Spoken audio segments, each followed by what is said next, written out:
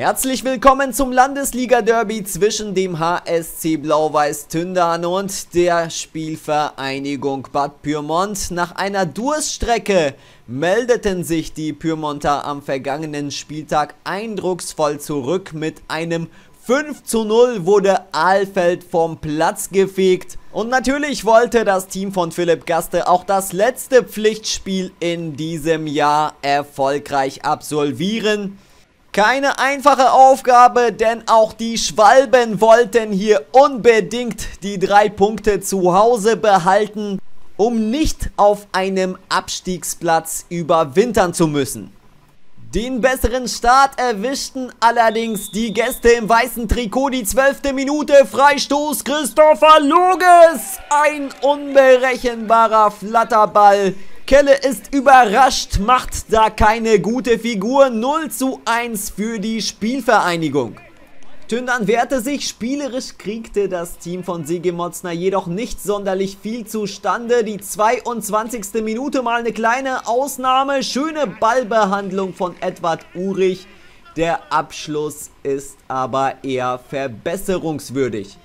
Die Kurstädter hingegen hinten äußerst kompakt und vorne fokussiert und zielstrebig. Lesemann kommt da über die rechte Außenbahn. Tolle Hereingabe und ein grandioser Abschluss von Christopher Loges. Ein geiles Tor. 0 zu 2 nach 25 Minuten.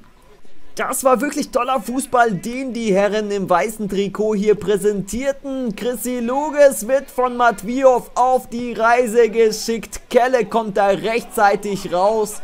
Und Fischer klärt letztendlich auf der Linie. Es blieb also beim 0 zu 2 Halbzeitstand. Das ambulante Therapiezentrum der M&I Facklink in Bad Pyrmont hilft Ihnen nach einer Sportverletzung wieder auf die Beine. Ein Schwerpunkt eines der größten ambulanten Therapiezentren im Landkreis ist die physiotherapeutische Betreuung von Sportlern und Mannschaften.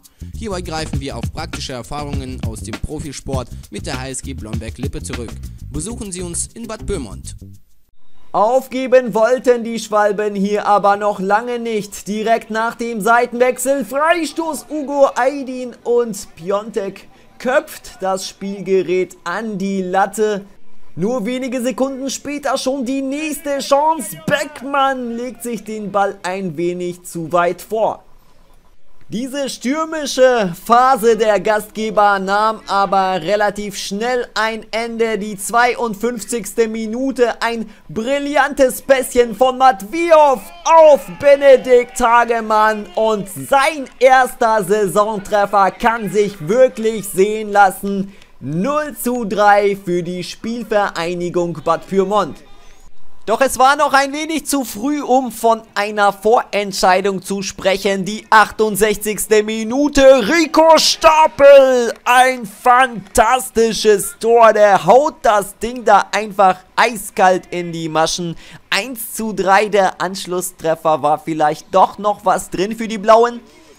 Die Antwort lautet nein, denn Pyrmont spielte das Ganze souverän runter und hatte hier sogar noch einige gute Einschussmöglichkeiten. Matviov trifft hier nur den Außenpfosten und so bleibt es beim Endstand von 1 zu 3. Ein verdienter Sieg für die Pyrmonter, ähnlich sah das auch der Kapitän Benedikt Hagemann.